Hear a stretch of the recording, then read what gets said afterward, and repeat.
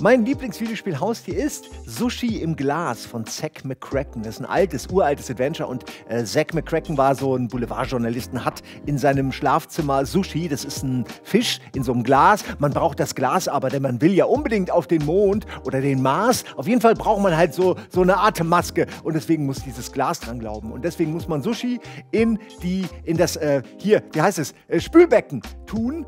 Und dann darf man aber nicht diesen Müllzerkleinerer anmachen, weil dann hast du nur noch Sushi. Ich bin mir nicht sicher, wie die Frage gemeint war, dass man sie auslegen soll, aber ich interpretiere die jetzt mal einfach so, dass man äh, sich quasi ein Haustier aus einem Spiel nimmt und das jetzt so in die reale Welt holt. Und das Allergeilste, was man wahrscheinlich haben kann, ist Trico. Alleine, wenn ich mir vorstelle, wie doof die Leute gucken, wenn man damit zur Hundeschule geht.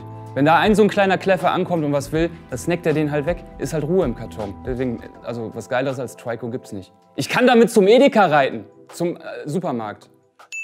Schwierigste Frage, definitiv. Ich konnte mich nicht entscheiden. Also ich habe erst an Wolflink, den man mit dem Amiibo kriegt, aus Breath of the Wild gedacht, weil es ziemlich geil ist, mit dem rumzurennen. Aber sobald du dich wegteleportierst, ist er halt weg.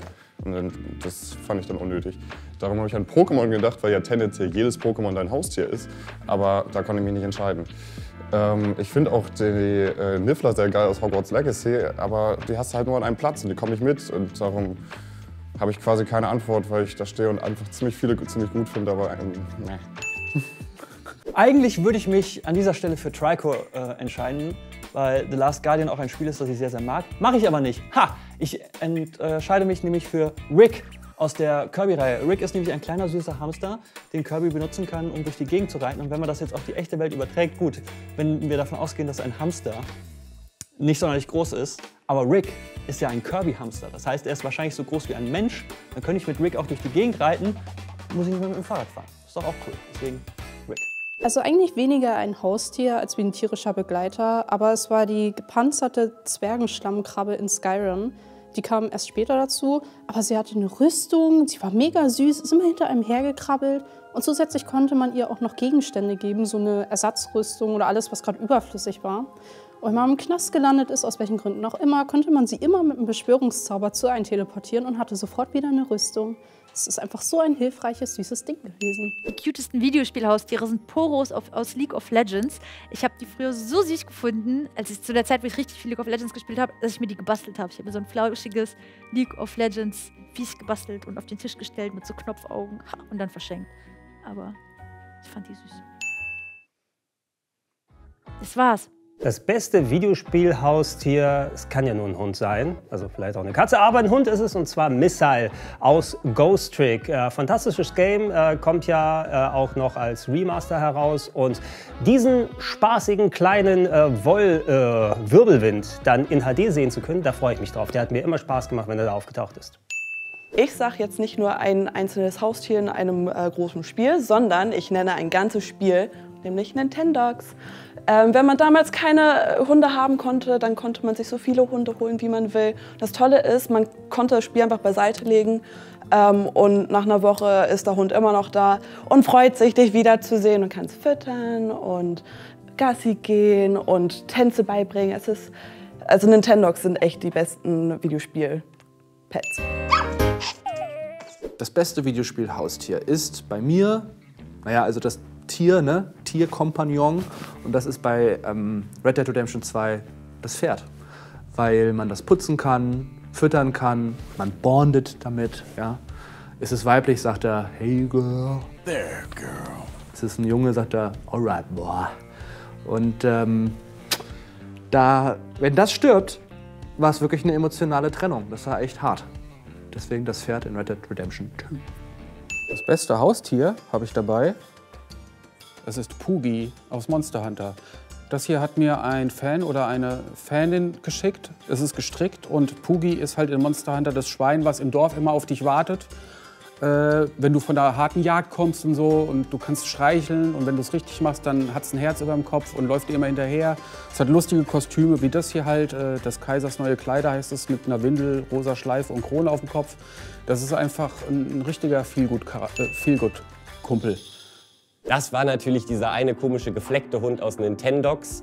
Das habe ich nie gespielt. Nee, ich musste wirklich lange überlegen, welches das Beste. Äh, und dann ist es mir eingefallen. Dogmeat aus Fallout 3. Natürlich, dieser fabelhafte Hund, den man auf einem Schrottplatz findet, der da einfach zurückgelassen ist, den also wir, wir, helfen uns ja gegeneinander. Ich nehme dich wieder mit und du hilfst mir im Austausch, ähm, im Kampf, kannst ein bisschen Loot von mir tragen, man kann sich sogar unterhalten. Der Gute sagt sogar Wuff Wuff als Antwort und solche geistvollen Dinge. Es ist einfach nur fantastisch. Bestes Haustier ist natürlich schwierig, aber ich habe mich für das Frettchen von Diablo entschieden, weil das Frettchen ist einfach irgendwie geil. Also es, es, sammelt ja nicht nur Gold ein und diese ganzen Heilsachen, sondern es macht auch 50% Waffenschaden. Ich fand es damals immer derbe witzig, zu Diablo zu spielen und den dann so derbe viel runterzuhauen, sodass er nur noch ganz wenig Energie hat und dann das Frettchen einfach nur Diablo fertig machen zu lassen. und das Frettchen, das, das macht halt Diablo tot, so wie geil ist das? Frettchen, was ist Diablo? Immer noch geil. Das beste Haustier ist für mich ganz klar Trico aus The Last Guardian. Und da mag jetzt der ein oder die andere irgendwie sagen, das ist aber irgendwie kein cooles Tier, weil äh, das hört nicht immer darauf, was ich mache und bla bla bla. Sage ich aber, ey, ist realistisch. Ist das einzige Haustier, das ein bisschen Charakter hat. Das nicht immer genau das macht, was man will, sondern halt sich mal in der Schlammpfütze wälzt, weil es gerade Bock hat. Und so gehört das halt dazu. Deshalb, das ist äh, der einzige, das einzige Vieh, das ich mir als Haustier halten würde. Warum bin ich plötzlich so fies zu Trico? Das beste Haustier ist sehr, sehr schwer gewesen, diese Frage. Aber ich habe mich entschieden für das Haustier aus Torchlight 2. Denn was braucht man, wenn man unterwegs ist in Dungeons und jede Menge Loot einsammelt? Ein Haustier, was nicht nur mitkämpfen kann, Sachen aufsammelt, sondern was man auch losschicken kann in den Ort, um Dinge zu verkaufen. Und das ist einfach die beste Erfindung aller Zeiten gewesen, wenn man einfach sein ganzes Inventar vollgemüllt hatte, kurz alles rüberschieben zum Hund oder zur Katze, die rennt los, um alles zu verkaufen und zack, alles war gut. Inventar leer, Loot konnte wieder rein. Nur damit er auf jeden Fall mal erwähnt ist, weil ich dachte eigentlich jeder nimmt ihn, aber ich glaube irgendwie, weil jeder denkt, dass jeder ihn nimmt, nimmt ihn keiner. Deswegen kurz Dogmeat aus Fallout. Come on, muss hier genannt werden. Bester Hund. Ich nehme aber in der Tat einen anderen Hund aus der Videospielhistorie und zwar den Hund aus Secret of Evermore. Der hat es mir damals echt angetan, wie er sich auch über die Zeiten verändert, mal als fliegender Toaster, mal als Wolfshund, mal als Pudel. Der war echt cool. Äh, bestes Haustier, auf jeden Fall.